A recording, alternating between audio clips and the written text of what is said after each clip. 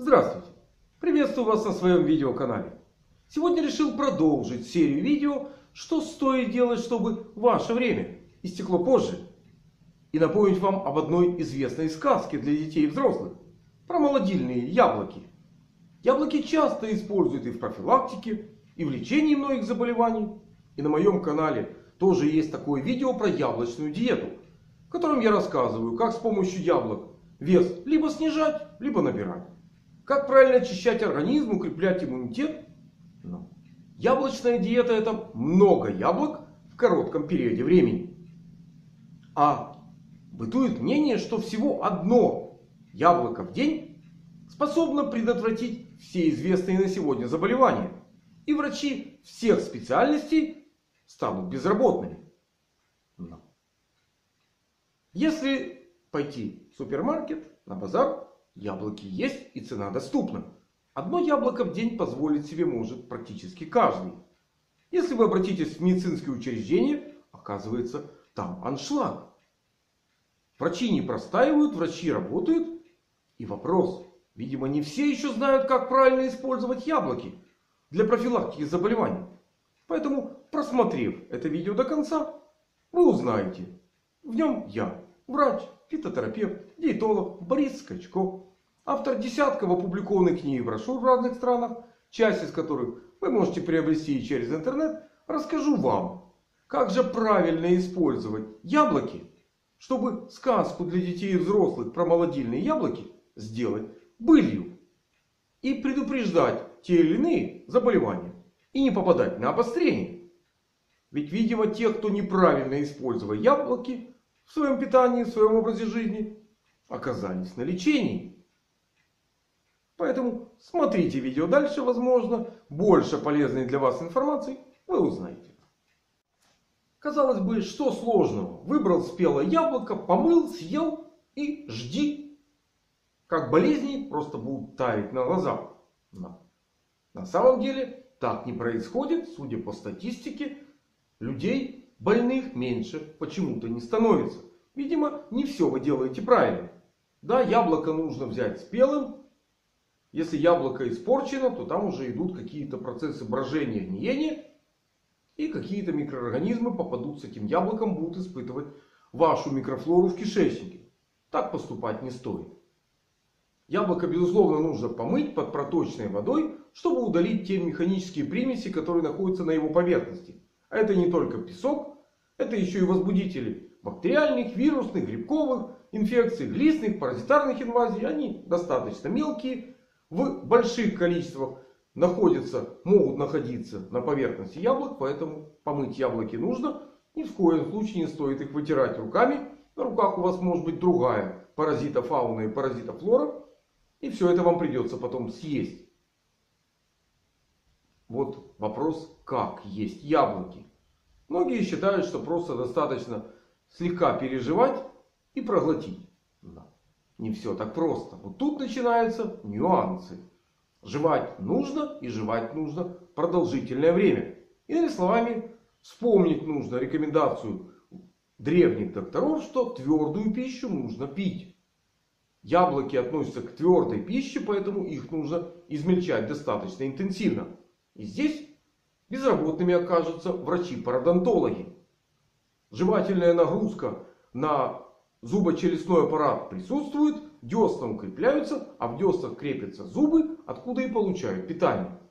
Иными словами, пародонтоз у вас, если и разобьется, то достаточно поздно. Профилактика пародонтоза у вас идет. Более того, те кислоты, которые есть в яблоках, они не относятся к сильным антибиотикам. Но ограничивают активность микрофлоры в полости рта. И это тоже хорошо. Но те же самые кислоты любят растворять и кальций в зубной эмали. Иными словами, пока вы занимаетесь активной профилактикой пародонтоза, вы можете попасть на более активное обострение кариеса.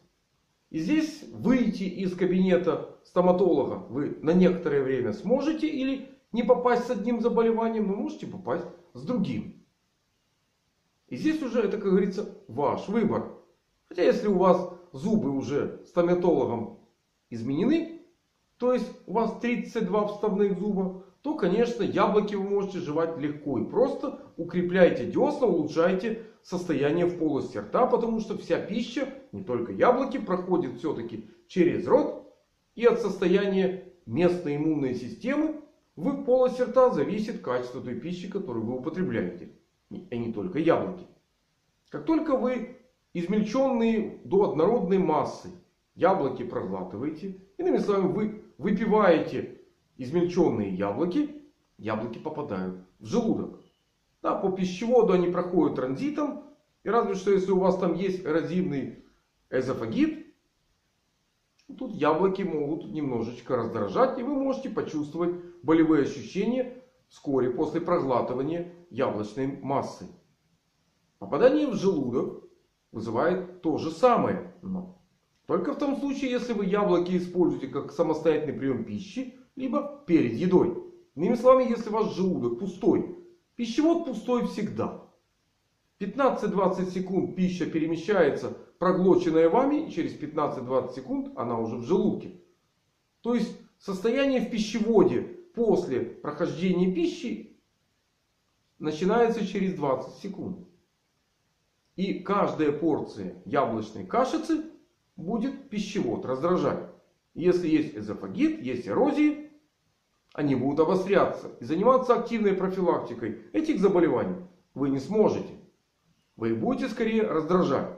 Поэтому если у вас есть эзофагит, то яблоки в таком виде вам не подходят. Если у вас есть гастрит, либо гастродуоденит, то яблоки не подходят вам перед едой, либо между приемом пищи. Только после еды ваш желудок сможет выдержать яблочную диету. Или одно яблоко в сутки. Что происходит дальше? Как только кашица яблок перемещается в двенадцатиперстную кишку, она будет раздражать двенадцатиперстную кишку. И как минимум гастрододенит хронический тоже может обостриться. Как и хронический панкреатит.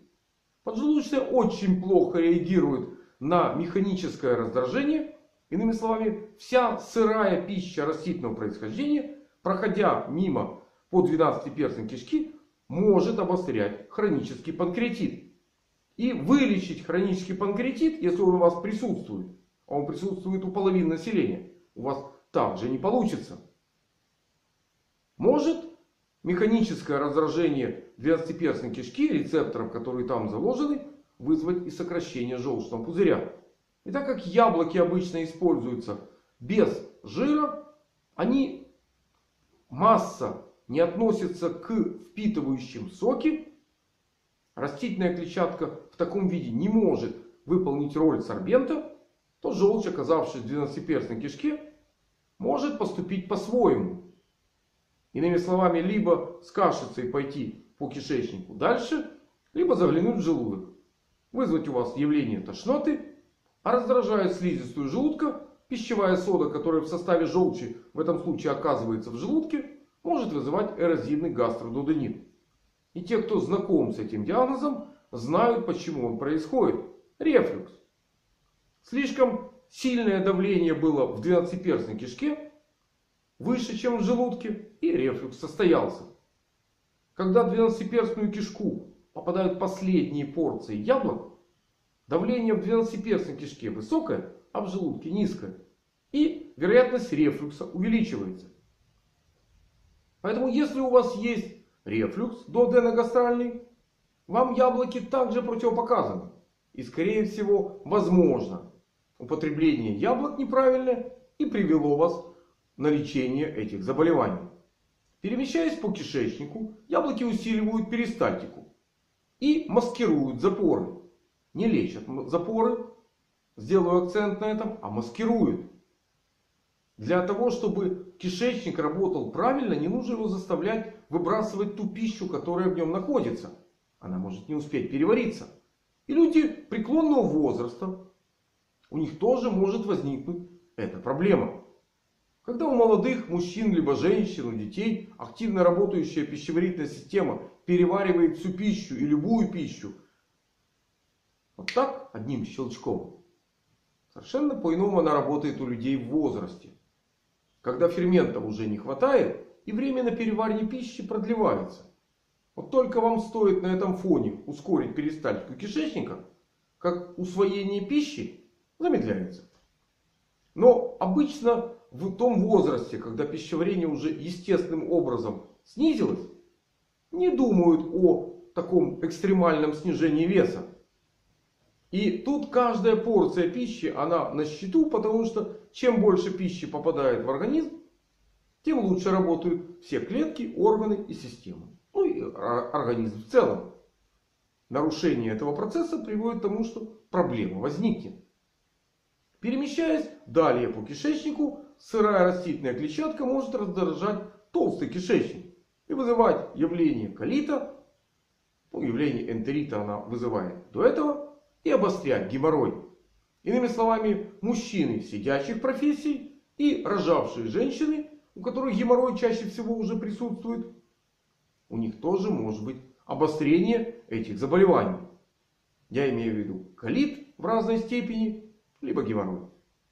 И вылечить эти заболевания яблочная диета не в состоянии.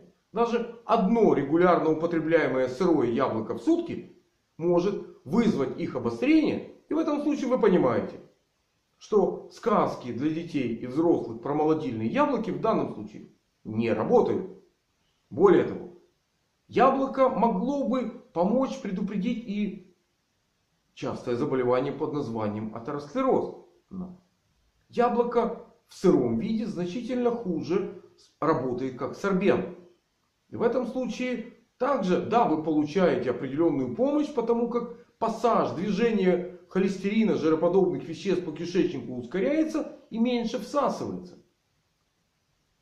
А вам нужно обратное. Вам нужно связать тот холестерин, не ускорить движение по кишечнику, а связать холестерин в кишечнике. А клетчатка сырых яблок это сделать не может. Способ снижения уровня холестерина с помощью яблок, он по-иному работает. И вместе с окисленным холестерином вы теряете много полезных веществ, которые вашему организму не бесполезны, а важны, раз вы эту пищу употребляли. Вы же деньги в нее вкладывали для того, чтобы получить пользу для здоровья, а не для того, чтобы сделать дополнительную нагрузку коммунальным службам, потому как больше содержимого кишечника окажется в канализации. Еще один момент, который нужно учитывать. Не стоит яблоки есть в том виде, в каком вы их получили после того, как вы их помыли. Обязательно нужно снять шкурку. Разве что летние яблоки можно есть со шкуркой. По той простой причине, что на поверхности яблок очень мало находится воскоподобных веществ. Которые легко с помощью желчи оказываются в организме и сложнее оттуда выходят. В большей степени, правда, это относится к яблокам зимним. Там значительно более толстый слой воскоподобных веществ, который предупреждает потерю влаги яблоками. И они не портятся. Поэтому и они дольше хранятся. Некоторые производители яблок могут продлить срок хранения яблок таким способом, напыляя воскоподобные вещества на поверхности. Да, яблоко получается становится консервированным, но от этого польза не увеличивается. Да, его можно дольше хранить, но чем дольше хранятся любые продукты, в том числе яблоки, тем снижается их польза для вашего здоровья. Поэтому, если вы купили яблоки, которые хранились неизвестно какое время, непонятно где, вначале вы их помыли, потом сняли шкурку. Не стоит с грязных яблок снимать шкурку, потому как та те сюрпризы, которые могли находиться на поверхности яблок, вы их можете перенести уже на съедобную часть яблока. И ваше здоровье может со временем пострадать. Еще один маленький нюанс. Нужно использовать правильно употребляя яблоки. Или когда вы их используете в сыром виде. В яблоках есть еще семена. А в семенах, говорят, есть много полезных веществ. Нужных для роста яблони. Там те же белки, жиры, углеводы, витамины, макро, микроэлементы. Все это есть в концентрированном виде. Причем в семенах этих веществ больше, чем во всем яблоке в целом взятом. И нужно кушать семечки яблок. Я бы не советовал вам таким образом расширять свой рацион? По той простой причине. Когда вы берете семечки яблок, начинаете их разжевывать. Во рту появляется вкус миндаля. Откройте Конан Дойля, Агату Кристи и почитайте. О чем говорит присутствие вкуса миндаля или аромата миндаля. И вы поймете, что растения, они э, не думали о том, что вы будете есть яблоки, тем более поедать потенциальных детей этой яблони. Они думали о том, как размножиться. Семена это способ размножения яблони. Кстати, мыши не едят семена яблок. И некоторые другие. По той же причине. Мышцы, мыши понимают. Есть синильная кислота. Яблоко, семечко ядовитое. Поэтому лучше не экспериментировать, а поискать другой вид еды. Ну, некоторые эксперты советуют, надо есть. Там много полезных веществ. И неплохо было бы их усвоить. Съесть-то вы можете. Вот усвоить-то вряд ли что усвоите. Синильная кислота блокирует многие процессы в организме, в том числе и всасывание из кишечника. Иными словами, съедая семена яблок, вы не то, что то, что там находится, не усвоите. А кое-что из того, что успело перевариться, вы заблокировали всасывание. Иными словами, ваш организм попадает на еще более голодную диету. И вероятность обострения заболеваний, а не профилактики их, резко увеличивается. Поэтому, когда вы используете яблоки в сыром виде, вы уже знаете основные плюсы и основные минусы этого процесса и как это влияет на здоровье. Конечно, яблоки можно жевать не самостоятельно. Для этого можно использовать терочку, потереть и вот эту кашицу просто проглатывать. Здесь плюс в полости рта вы получаете, кариес у вас обостряться не будет. Но вы получаете минус. Жевательная нагрузка у вас тоже снизилась. И вероятность пародонтоза увеличится. Со стороны кишечника яблочная кашица, особенно если берете яблоки кислого вкуса, кислоты регулируют не только усиливают секрецию желудочного сока, но в случае, если идет, попадает в желудок не кашица, а сок, в этом случае получаете сокогонный эффект и улучшение переваривания той пищи, которая попадет после яблок. Яблочная кашица очень хорошо регулирует микрофлору в кишечнике, подавляя своими кислотами часть патогенных микроорганизмов. И это один из детских способов лечения дисбактериоза кишечника. Но, пожалуй, на этом полезные свойства свежих яблок, они заканчиваются. Конечно, яблочные кислоты, попадая к печени, дают ей энергию. Это производные э, э, углеводов. Из кислот, в конце концов, собираются простые сахара. Но кислоты тоже несут определенную энергетическую ценность. От одного яблока ваши почки не почувствуют изменений. Если яблочная диета, кислот идет много, печень со всеми не справляется. Кислоты оказываются в кровеносной системе. И выделяясь через почки могут изменить там состояние и некоторым бактериям осложнить жизнь. В данном случае, если вы используете одно даже большое яблоко сутки вы этот эффект не получите. Хотя печень, кишечник, вы э, измените их работоспособность. А на этой позитивной ноте я это видео буду заканчивать с привычным подписчиком моих каналов словами крепкого здоровья и разумного к нему отношения. И пока вы думаете, как применить эту информацию в своей генетике, зная спектр заболеваний в семье, не забудьте отправить ссылку своим друзьям, знакомым, возможно, родственникам, чтобы они больше знали о яблоках молодильных и правильно использовали сказки для детей и взрослых для своего здоровья, чтобы заниматься реально профилактикой болезней и не попадать на их обострение. До новых встреч на моих каналах.